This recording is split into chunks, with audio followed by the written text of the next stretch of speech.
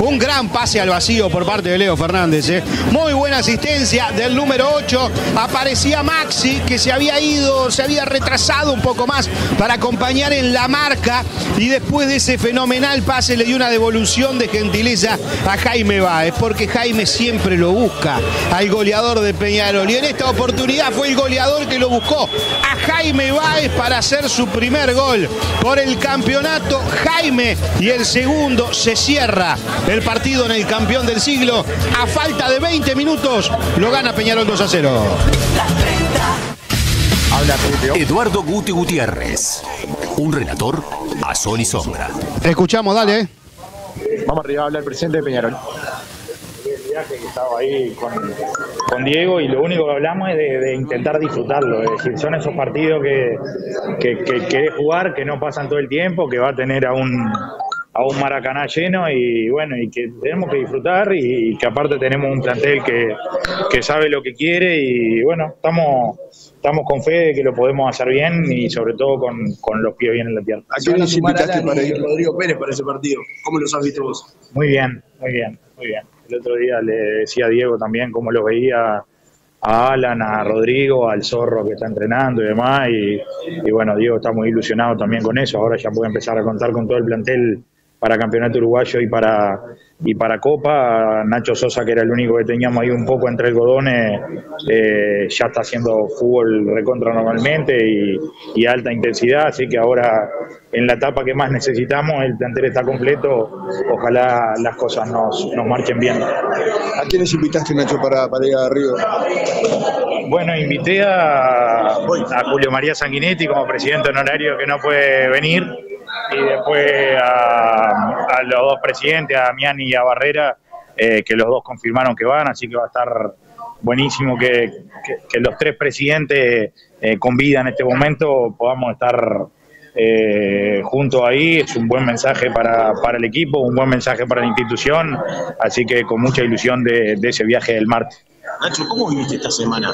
Todo lo que pasó con eh, que Peñarol se bajó de la Copa Uruguay. ¿Cómo te, te sentís vos? Y si te ha llamado alguien del fútbol, en este caso, alguien cercano a la AUF, para, eh, para comentarte algo sobre la decisión que tomó Peñarol. No, no, no, no, con- muy convencido de lo que estamos haciendo, muy convencido de, de la pelea que estamos dando, muy seguro de hacia dónde vamos y bueno, y también de las de las de la decisión en general, porque era una decisión que claramente tiene que ver con lo político, pero que también tiene mucho que ver con lo deportivo, que yo el otro día se lo hablaba a Diego, es decir, nosotros pedimos dos o tres veces que se nos fijara las fechas de las posibles disputas de la siguiente fase de la Copa Uruguay. Porque una de las cosas que preveíamos es que como no nos fijaban la fecha, si después se nos da pasar a Flamengo, que es muy difícil, pero si se nos daba, eh, yo le dije, esto es fijo que nos mete en un partido de la Copa Uruguay al medio de esto y que capaz que todavía un clásico, es decir, vamos avanzando con Nacional y cuando querés acordarte meten al medio de, la Copa Uruguay. Nos dijeron que no iban a fijar las fechas, que solo fijaban la primera y no fijaban el resto. Entonces, bueno, era una decisión que claramente tenía un componente político, pero que también tenía un componente deportivo que, Diego y Agustín lo entendieron perfecto. El otro día decían, el partido contra Piriápolis no hubiese venido bien para que agarrara un poco de ritmo algunos de los jugadores que llegaron ahora, pero la realidad que, como dicen ellos también, era bien probable que, que si lo otro sucedía, después íbamos a decir para qué jugamos esto, y bueno, una copa que, que, que- que, bueno, que nació mal, que no, no tiene eh, ningún sentido, que, que fue arbitraria hasta la designación de los cuadros, es decir, bajaron cuadros a último momento, de la A, de la B, y, bueno, y lo que hicimos fue mostrar nuestro, nuestro descontento a eso. ¿Te sorprendería? Por Nacional no, por ninguno de los dos, porque en realidad Defensor eh, explicó la situación, nosotros no estamos de acuerdo y creemos que al hacer eso desgasta eh, la, unión que, estamos teniendo en la Unión de Clubes contra esto mismo. Pero bueno, es una decisión de, de- de Defensor que hay que respetarla, todo el resto la respetamos a rajatabla y era lo que el mismo Nacional había votado, es decir, el, Nacional propone eso en el Consejo de Liga 11 votos tiene a favor, 5 en, en- eh, por abstención, es decir, ninguno en contra, y bueno, y termina, y termina eh, después dándose vueltas. Lo de Nacional ya nos tienen acostumbrado eh, a, a esa forma. De defensor lo, lo hablé con el Beto Ward, con el presidente, le digo, Beto, mirá, no, no la entiendo, pero claramente lo respeto porque respeto mucho a, a- a defensor y a su presidente. Los, y los demás clubes que tienen fijado fecha ahora la semana que viene, de los clubes de la Unión de Clubes se presentan. No se presentan, ya hablamos, ya hablamos. ¿Ya lo tenés confirmado Sí, eso? Sí, todos, todos, sí. Sí, sí, hablamos especialmente de, lo- de los de la Unión de Clubes. Sí, sí, la Unión de Sí, Clubes. sí, ya hablamos. Ya no hay nadie que se vaya a presentar. ¿Qué te dijo Ward? Bueno, que el- con su consejo directivo eh, le insistió para jugar, que ellos habían dicho que era una copa importante para jugar ellos y demás. Y bueno, tampoco tengo que pedirle mucha explicación porque tienen autonomía a hacer. Yo creo que, que hubiese sido mejor ir en bloque, pero bueno, si no salió tampoco nos complicamos. Nosotros estamos muy convencidos de lo que hicimos. Bárbaro, gracias Nacho. El presidente de Peñarol, Ignacio Rubio, en el post partido de la 30, en breve te convoco para la conferencia de Aguirre. Bien, gracias, Cristian. La verdad me llamaría mucho la atención de que Rubio se metiera también en defensor, ¿no? Eh, acá hay que tener algo, hay que tener algo en cuenta. Eh, defensor hizo algo que Peñarol no hizo, poner en directiva el tema. ¿No? Y, y- y- y buscarle la vuelta entre todos. Sí, la explicación que dan en defensor es que ellos, antes de mandar la carta, habían resuelto que si no cambiaban, jugaba defensor. Por unanimidad. Después que presentan la carta, como no cambia la, AUF, la- lo, lo que estaban pidiendo, el defensor lo que hace es mantener lo que ya había resuelto. Lo vuelve a tratar en directiva y vuelve a salir por unanimidad. Esto es lo que informa oficialmente, por ejemplo, el vicepresidente del club. Sí, sí, sí, claro, por eso, pero digo, me, Así que. claro. me- me extraña metiéndose en todos los otros. No, bueno, pero se, él se mete porque él está liderando un, proyecto, un movimiento que es contra la AUF, en la cual él, el presidente de Cerro y el presidente de Liverpool son los abanderados. Ellos tres son los, los abanderados, por distintas razones, ¿no? Entonces van al frente y bueno, y arrastran a todo lo que pueden. Hay, hay que ser bien claros en esto que hay eh, seis equipos de 32 que resolvieron, resolvieron no jugar. No importa el nivel de importancia que tenga cada uno de los equipos. Son 6 en 32. Los otros 26 juegan. Vos que todavía te sentís jugador y dejas todo en la cancha, encontrá la forma más fácil y divertida de jugar Fútbol 5. Seguinos en Instagram, arroba golona.app, Vitalik Spa y Estética. Relajate y vive la experiencia. Te ofrecemos masajes y tratamientos estéticos con un personal altamente capacitado. Vitalik Spa y Estética, tu spa, tu momento. Río Branco 1425 entre Colonia y Mercedes el 27 de octubre. Vota así para volver a la jubilación a los 60 años y aumentar la jubilación mínima al salario mínimo nacional. Afirma tus derechos.ui. Mantex, pura tradición en tus manos. Grasas, margarinas y chicharrones premium, calidad superior Mantex. Elaborando desde 1985 para la industria Habla de nuestro país. Mantex, pura tradición en tus manos. Bueno, muy bien, escuchamos la palabra de- del entrenador Carbonero.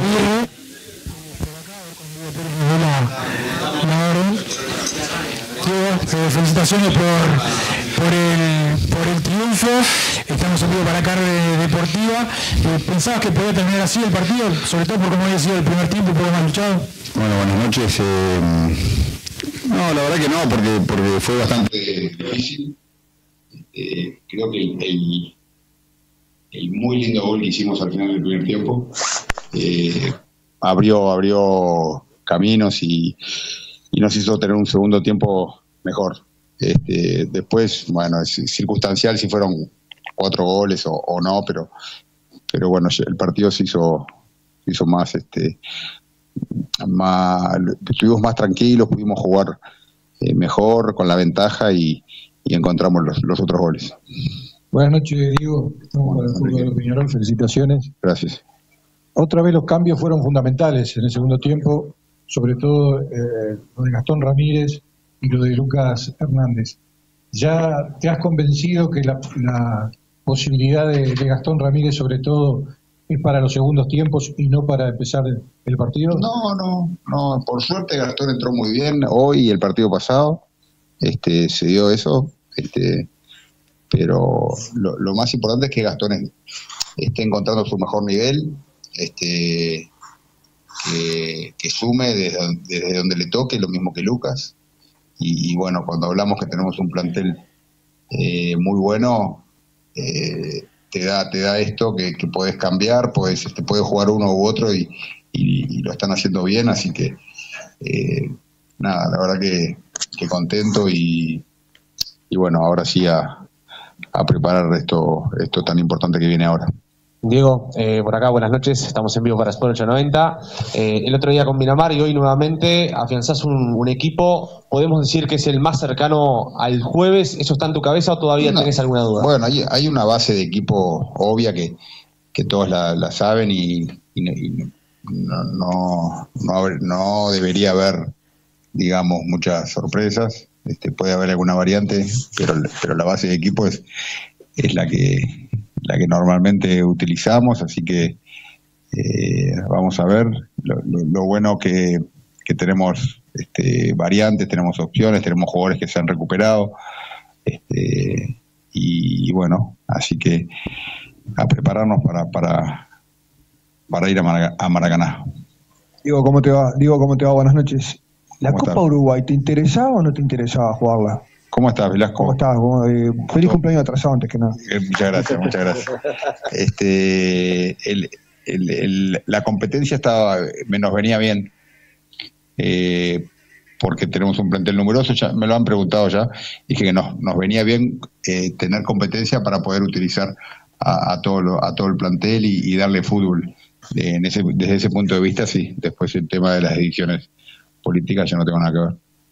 Diego, por acá estamos en vivo para Radio Oriental. Te quería consultar por la situación de Leo Fernández. Si está bien, si salió golpeado, Está si 10 tenés una puntos, está preocupación. volando, Leo está preparado, está a full, está notable.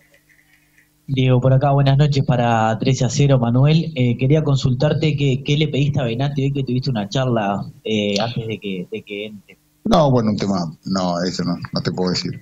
Pero de futbolísticamente le pedí que, ah, que jugara, que, que, que primero que se tirara un poquito más atrás y después que fuera para arriba, pero no, no, nada. Ya, ya el partido estaba, digamos, bastante definido porque íbamos, eh, justo marcamos el tercer gol y quedaban 10 o 15 minutos, así que este, nada, también pudimos darle minutos y bueno, de a poco vamos a, a- hay, otros jugadores que le quiero que quiero darle la chance y bueno algunos que no hemos podido porque por, por, por el tema reglamentario eso que no estaban y, y- y bueno, es por eso que me gustaría que hubieran más partidos para poder utilizarlos a todos. Buenas noches, Diego. Por acá estamos en vivo para la 30. Eh, yo te quería preguntar puntualmente por dos posiciones en la cancha, tanto lo del lateral izquierdo como también del acompañante de Damián García. Has rotado ahí con Gastón, Darias, Lucas Hernández también. Quizás son esas dos posiciones que quizás tengas alguna duda de quién poner en esas posiciones puntualmente. Puede ser, pero no, de verdad que no, no tengo dudas. Eh, al tener opciones distintas, este, eh, puedes usar a un jugador o otro y, mm, y este y bueno, el, el nivel es muy parejo. Así que, que ahora a tomarnos unos días, digamos, para, para, para analizar alguna cosa más y, y bueno, poner el, el 11 que creamos mejor para comenzar ese partido y, y bueno, también el- eh, se ha demostrado en, en estos últimos partidos, sobre todo, de, la importancia de los jugadores que están en el banco, que entran y pueden sumar muchísimo. Así que hoy en día que se puede hacer cinco variantes, eh, el, el- el banco eh, cumple un, un rol muy importante. Eh, Diego, y ahora pensando en Flamengo más a fondo, eh, de repente empezás a ver individualidades, eh, los movimientos de, de cada uno de los jugadores. ¿Qué, es lo que más te fijas en ese caso? Porque, a ver, te empezás a describir y tenés mucha, muchas posibilidades, también, muchas variantes. Eh, Flamengo lo, lo, lo hace, hace ya ba- bastante que, que nos imaginábamos este partido con Flamengo, eh, inclusive antes de, de- jugar con The eh, como que lo veíamos y, buscábamos información porque era un posible rival. Y, y bueno, nadie va a desconocer la calidad que tienen o, el gran plantel, pero, pero bueno, eh, nosotros estamos bien y, bueno, y vamos a, a tratar de hacer un gran partido y, bueno, sabiendo que, que se define acá en el campeón del siglo, así que este, es- está abierta, como todas las eliminatorias, como siempre en la Copa, todo es posible. Eh, Diego, sacando, sacando a, a- a Suárez que no puede, que no puede jugar la copa, los otros muchachos que no pudieron tener fútbol oficial, los tenés pensado llevarlos igual a, a Brasil, sí o sí. bueno, se genera ahí uno- un, un tema ahí que es un poquito eh, difícil porque tenemos que tomar alguna decisión. Eh, es lamentable que, que no hayan podido estar en estos partidos porque estaban fijadas las fechas cuando se había suspendido por una causa de fuerza mayor. Eso pasa solo acá, es una locura, pero bueno, no pudimos tener los jugadores que están entrenando con competencia y nos encontramos jugando con Flamengo, un partido decisivo, donde, bueno, tal vez alguno pueda tener los primeros minutos en el club en un partido en Maracaná. O sea, es una locura eh, que no haya un una, una sentido común, de lógica, decir, eh, pero que nos, nos perjudicamos a todos. Este, la verdad que no, no lo puedo entender como que no sé qué hacen los que deciden que no, que no, no fueron capaces de, de- tener la sensibilidad como para habilitar a los jugadores. Bárbaro, hasta acá la palabra del entrenador aurinegro Diego Aguirre después de 4 a 0 ante Rampla. Eh, así que bueno, seguramente venga algún jugador a la sala de conferencias. Si viene, los vuelvo a llamar. Si verlo en Bueno, tu muy casa te hace vibrar como si lo vieras en la tribuna, es porque disfrutás de la calidad de la fibra óptica que solo Antel te puede dar. Esa que te conecta con la pasión por tu equipo. La fibra de los uruguayos. Renova tu plan Fibra Hogar y disfruta de 50% de descuento los primeros tres meses. Wi-Fi Max de regalo para extender la señal de internet en tu hogar y suscripción a A3 Player por tres meses. Conoce más beneficios en antel.com.uy. Disfruta cada día de más y mejor entretenimiento. Antel, nacimos para conectarte. Ahora en el Banco República, las transferencias a los contactos de tu celular se mandan con seguridad y así de fácil. Desde eBrow y App eBrow, envía y recibí dinero de manera fácil y segura a tus contactos sin necesidad de recordar y digitar su número de cuenta. Vincula tu cuenta del banco a tu número de celular para disfrutar de este servicio, que está espectacular. Banco República, nuestro banco país. Televisores Microsonic. Una marca de primera. ¿En qué andas? ¿Tomando un cafecito en el living mientras contestas un par de mails? Genial. Te hablo por acá para decirte que te pongas cómodo en tu butaca. ¿m? Relájate, reclinate y apoyate bien sobre el respaldo. Hablando de respaldo, ¿sabías que el Banco de Seguro del Estado lanzó una garantía de alquiler? Te sirve tanto a vos como a tus inquilinos. Es fácil y rápida de contratar y viene con el servicio de asistencia al hogar para resolver los problemas más comunes. Vos ni te preocupes, recomendale lo mejor a tus inquilinos. Consulta con tu asesor de confianza o en bce.com.uy. Banco de Seguros del Estado. En garantía de alquiler, nadie te da más seguridad. Y ahora llega el comentario del decano Daniel Ordóñez, un comentario con garantía y respaldo, como las garantías de Aguilar del Banco de Seguros del Estado. Eh, pocas palabras alcanzan para describir un partido que tuvo un tiempo parejo, ese ya lo hemos analizado, que debió haber terminado con empate, que terminó con victoria de Peñarol mediante el gol de Maxi Silvera en una jugada muy protestada por Rampla. Y después el segundo tiempo, cuando esperábamos que fuera partido parejo de nuevo y que Rampla saliera a redoblar esfuerzos para tratar de lograr el empate, cambiar el resultado, por el contrario, bajó los brazos prematuramente y después del segundo gol de Peñarol el partido estaba terminado y solo era posible esperar que Peñarol aumentara la ventaja. En realidad, del partido podemos decir solamente eso de Rampla que jugó un buen primer tiempo, como en fútbol, y el segundo tiempo desapareció. Y de Peñarol que, más allá de que estos tres puntos le sirven enormemente para la tabla anual y el clausura, hoy le saca ocho puntos a Nacional, mañana tiene que Nacional ganar para volver a los cinco puntos, pero arranca el partido con una desventaja muy importante en la tabla anual y también en desventaja en el torneo de clausura, aunque ahí menor margen porque quedaría solamente tres puntos atrás a la tercera fecha. Mirando la perspectiva del partido con Flamengo, yo, el Vasco piensa una cosa, eh, la mayoría piensa lo mismo, y yo no me afilio tanto a esa tesitura. Yo creo que los jugadores de Peñarol, cuando entraron, más allá de que tengan en mente el partido de Flamengo, a los pocos minutos de comenzar, estaban metidos totalmente en este partido y así lo demostraron a pesar de jugar muy mal en el primer tiempo y no jugar tan bien en el primer tiempo. Pero al margen de cómo estaban ellos, lo que yo miro es la perspectiva del entrenador de Peñarol. No le deja mucho. para el partido del jueves este partido. Seguramente él va a sacar las mejores conclusiones porque él es muy, muy inteligente, muy, busca los detalles, sabe lo que tiene que, que plantearse, lo que tiene que hacer eh, y qué conclusión puede sacar de esto de hoy. No le deja demasiado. Honestamente no hay nadie que se haya destacado, no hay dudas en el equipo como para poder eh, hoy dilucidarla, si juega este juega el otro. Yo creo que él no se plantea ninguna duda en la integración del equipo. Capaz que sí, y nosotros pensamos que no, porque él es muy de analizar cada situación y cada cosa puntual. No fue un gran equipo, un gran partido en lo individual de ningún jugador de Peñarol. Eh, muchas miradas y consecuentemente muchos análisis pasan por el desempeño de Leo Fernández. ¿Por qué? Porque Leo Fernández es un jugador cuyas condiciones técnicas acá en nuestro medio lo hacen decisivo.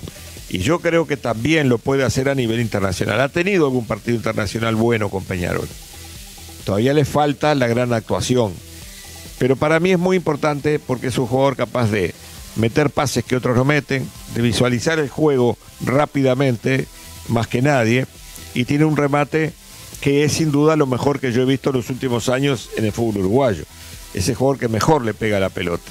Y para mí es uno de los mejores que he visto a lo largo de toda mi trayectoria como periodista hace ya muchísimos años. Entonces, eh, tampoco por la forma de ser él y por la forma de jugar él hay que estar mirando con lupa si anduvo bien, regular o mal. Porque no importa cómo haya jugado hoy, si contra Flamengo entra motivado, que seguramente lo va a hacer como todo el equipo, y le quedan las chances, las va a aprovechar. Y va a sembrar pánico en el equipo de Flamengo. Pero no creo que se puedan extraer conclusiones hoy de cara al jueves. Es otro partido, otro rival, otra motivación, otro medio, otro ambiente. Y Peñarol tendrá que salir a jugarlo como una verdadera final, que de hecho lo es de cuartos, pero final, porque el que pierda queda fuera y el otro sigue. Así que el técnico, si no tuvo lesionados, yo creo que no tuvo lesionados, ni golpeados, ni agotados tampoco, hoy es sábado y juega el jueves, Aguirre tendrá que eh, analizar el partido con el scouting que le haya hecho a Flamengo, pensando exclusivamente en el partido ese y no en estos antecedentes. Nada, creo yo, repito, le deja de cara a ese partido. Discreto fútbol el de hoy, con una victoria abundante, para mí excesiva de acuerdo a lo que pasó en el primer tiempo, pero acreditada y merecida por lo que fue el segundo tiempo donde hubo un solo equipo en el campo de juego y ese fue el Club Atlético Peñarol. Consolida su ventaja y le tira mañana esa frase que creo que nunca la escuché, le tira la responsabilidad mañana nacional para que salga a la cancha sabiendo cuando sale que está siete puntos abajo de Peñarol, porque va a estar ganando uno con el empate parcial con Wanderers, que para mí mañana aparece como un escollo durísimo para Nacional, si no como el favorito del partido. El comentario del decano Daniel Ordóñez, un comentario con garantía y respaldo, como las garantías de alquilar del Banco de Seguros del Estado. Aserradero Lagunón desde Rivera para todo el país y la más alta calidad de producción de espacios para la industria. Estamos en Freire 375, teléfono 0974923551 Aserradero Lagunón, gente de buena madera. Hace años que en Canelones y levantamos la bandera de hacer las cosas bien, ¿eh? de hacer más obra, más limpieza, más cultura, más deporte, más inversiones. Por eso somos el departamento de Uruguay que más se desarrolló en los últimos años. Gobierno de Canelones. Y ese jugador está pidiendo el cambio. Pedimos también y cambia y cambiate la nueva tarjeta Bro Mastercard. Bro Recompensa Mastercard débito, usala para todo. Banco República, nuestro banco país. Calidad y respaldo. Son el sello de Microsonic. Televisores Microsonic, una marca de primera.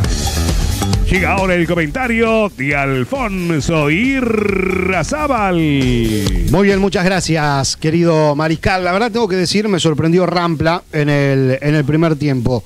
Eh, una figura táctica que eh, se rompió muy pocas veces y que siempre estuvo dispuesta primero para lo más importante, tener el arco en cero. Y después, cuando se podía, poder sacar alguna contra y de esa manera intentar de alguna manera también vulnerar el área rival. Estuvo muy cerca de hacerlo en esos primeros 45 minutos, en los que las chances más claras las termina teniendo el equipo de Rampla Junior. Sin embargo, carecía de definición. Y es ahí donde aprovechaba Peñarol para mantener el arco en cero y para intentar también él salir a buscar la posibilidad del resultado. Que termina eh, abriendo de alguna manera el score largo en esta noche a los 43-44 minutos del primer tiempo. En una jugada que generó polémica, que seguramente pueda llegar a generar, más allá del resultado que fue bastante amplio, también algo en la semana en la que yo reitero, la verdad no la vi tan clara como para decir de que fue falta. Para mí se venían entre los dos, no digo agarrando, sí disputando eh, el lugar, el espacio y eh, bueno, eh, de acuerdo a lo que vio el VAR y de lo que entendió, imagino el árbitro también en primera instancia, todo fue en materia, en materia legal. Se iba el primer tiempo Peñarol ganando 1 a 0 y si bien de alguna manera por la posesión del balón, por el intentar ir a buscar siempre el arco rival, uno podía decir, bueno, puede llegar a ser merecedor. Yo creo que el empate era el resultado más justo que podía haber tenido ese primer tiempo. Claro, no te da absolutamente nada. Empatar 45 minutos, lo único que te genera es ir al vestuario un poco más tranquilo y tomar la charla técnica de otra manera. Y es ahí donde sí, se podía haber generado otro tipo de situación si Rampla salía al segundo tiempo con un 0 a 0 y con la propuesta similar a la que venía ensayando en el resto del partido. Claramente hubo eh, un cambio, un cambio que eh, era necesario por parte de Rampla, y no hablo cambio de jugadores, sino que hablo, hablo de, juego, eh, Rampla tenía que salir a buscar un poco más el partido. Rampla ya no podía de alguna manera eh, dejar pasar esas chances que sí dejó pasar en el primer tiempo. Sin embargo, los cambios ya a esta altura, digamos, naturales de Peñarol le hicieron eh, a Rampla mucho daño. Le hicieron tanto daño de que eh, ya uno se olvidaba de nombrar a Burruso, eh, no aparecía Mezquida, que fue el primer cambio que hizo el equipo de Rampla, sacando a Rinaldi, al número 7, el argentino que acompañaba a Burruso eh, en ese doble 9 en el primer tiempo, porque Machado, que había sido otro de los importantes que había tenido el partido para Rampla, por el costado derecho a los 30 minutos, 35 minutos del primer tiempo, tuvo que ser suplantado por, eh, sustituido, perdón, por eh, eh, un jugador que la verdad creo que no termina rindiendo, Almeida, lo mismo que había hecho Machado en esos primeros 30, 35 minutos, que con la apertura del juego por banda, Rampla había encontrado espacios muy importantes. Hoy creo que no fue el mejor partido de Peñarol en la mitad de la cancha. Y cuando hablo en la mitad de la cancha quiero eh, hablar más de la recuperación de Peñarol. Hoy Darias no estuvo fino, lo manejé en casi todo el primer tiempo y termina siendo el primer cambio de Diego Aguirre para el ingreso de, Gastón Ramírez ya desde el vamos en el segundo tiempo. Hoy Damián García terminó realmente cansado el partido. Decime, Cristian. Habla Jaime Báez, ¿lo escuchamos? Escuchamos, dale. Felicitaciones por el triunfo. Estamos en vivo para eh, Carve Deportiva. Eh, hoy tenía el partido de Rampla, pero jugar un poco pensando también en lo que se viene en la Copa Libertadores. Terminó el partido y la gente ya les cantaba que, bueno que esperan un, buen resultado para, para la semana. Sí, sin duda, sin duda que, que en la cabeza está, está, el partido porque sabemos lo importante que es para, para nosotros, para lo que es la gente, para todo Peñarol. Y, pero igualmente preparamos el partido pensando en Rampla y tratamos de, trabajar para eso, siempre ir de partido a partido, así que, bueno, hoy pasamos la prueba y hay que, hay que ahora sí poder pensar eh, a lleno en lo que viene. Buenas noches Jaime, eh, para Fútbol de Peñarol. Eh, te has adaptado muy bien por lo que se ve en la cancha, a, este nuevo Peñarol. Estuviste muchos años en Europa. ¿Cuál es la gran diferencia que existe hoy por hoy entre lo que es el fútbol europeo y lo que te encontraste aquí en Uruguay? Bueno, creo que, Peñarol está a un muy buen nivel a lo que es lo que es el fútbol y bueno, lo que es el fútbol en, general, el fútbol uruguayo creo que, que lo que cambia un poco más que nada es el ritmo de juego. Pero después eh, siempre hay muy buenos jugadores, jugadores que no te regalan una jugada, que meten todo. Y creo que eso es lo es, es la base del jugador uruguayo y eso es lo que hace también que, que en el mundo el, eh, jugador uruguayo sea conocido y sea respetado. Así que que a nivel futbolístico te puedo decir el ritmo. Después lo otro creo que, que hay muy buena base, muy buenos elementos en todo el pueblo uruguayo. Jaime, por acá, buenas noches, estamos en vivo para Sport 890. Eh, a ver, llegaste eh, de repente como una alta, una alternativa, sin embargo se da la circunstancia de la lesión de, Leo Sequeira, que estaba ahí, se te da la oportunidad de jugar, metes goles, rendís, y eso también para vos como futbolista debe ser importante, ¿no? Y, y te llevo un poco más la pregunta, ¿qué te imaginás o qué soñás de- del jueves tener un partido como el que se va a dar con Flamengo? Y un partido así te hace, te hace pensar eh, mil cosas, pero la motivación es enorme, es enorme porque todo lo que conlleva un partido de, de ese tipo, mm, creo que no hay una motivación más grande que jugar un partido así. Y bueno, tratar de llegar al máximo. Yo hoy en día no, todavía no me siento al 100%, porque hay muchas cosas que todavía me, me gustaría pulir y me- mejorar, eh, sin duda que, que en lo que es más que nada con la pelota, en el ritmo de juego creo que puedo dar mucho más, pero, pero también no quiero tampoco desesperarme y ponerme loco con eso porque, porque todo lleva su tiempo y creo que, que se va a dar, se va a dar en el momento justo y ojalá estar al máximo ahora jueves. Jaime, estamos en vivo para Radio Oriental. Consultarte si se van un poco capaz que preocupados más allá del resultado final con la primera parte del primer tiempo donde se los vio un poco desordenados y, y- y bastante incómodos dentro del campo de juego este, y desordenados. Sí, puede ser, porque yo creo que más que nada jugamos un poco más apurados, mm, tratamos de buscar eh, jugadas que capaz que no estaban y había que tener un poquito más la pelota y, tratar de buscar eh, otras soluciones. Pero eh, te lleva, te lleva el juego, te lleva a tratar de arriesgar a, y tenemos que ser nosotros buenos y, y conscientes en- adentro de la cancha de esperar el momento justo y tratar de buscar la mejor manera para entrar. Que en primer tiempo creo que estuvimos un poco apurados en ese sentido y bueno, nos enredamos un poco con la pelota también. Yo personalmente me sentí así y bueno, después por suerte lo pudimos, pudimos ponernos 1 a 0 antes de terminar el primer tiempo, que eso nos dio nos dio aire para después en, en segundo tiempo estar tranquilos y, y jugarlo distinto el partido. Jaime, por acá, buenas noches. Estamos en vivo para la 30. Yo te quería preguntar más bien algo de juego, puntualmente, que, que uno ve que es con. ¿Cómo se asocian con Maxi Silveira? Es un jugador que, que permanentemente sale a jugar con ustedes, a proponer juego. ¿Lo ves vos de la misma manera, tanto con Leo como también con Javier? La posibilidad de jugar con, con, con Maxi, que es un 9 más bien de, de juego asociativo y no tanto de área, ¿te favorece eso en tu juego también?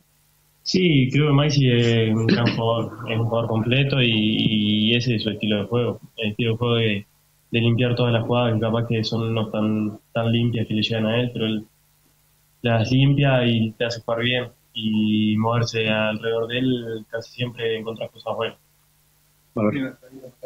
Gracias. Hasta acá la palabra de Jaime Báez, eh, delantero por extremo del equipo aurinegro. Así que bueno, ya se terminan las voces aquí en sala de conferencias. Subo a la zona de cabina. Bien, Cristian, si querés ya cerramos, ya cerramos de ahí Bueno, el, el trabajo, ¿le parece? ¿Qué más me quiere contar? bárbaro. No, simplemente Peñarol este, ya va a, quedarse obviamente también para entrenar antes del martes, que es su este, partida hacia Río de Janeiro, eh, para el partido co- contra Flamengo. Ver, este, Aguirre ahora en conferencia de prensa ha dicho que terminó, pese a terminar rengueando y cansado, por ahora, por lo pronto, no es lo de, no es de mucha entidad lo de Leonardo Fernández.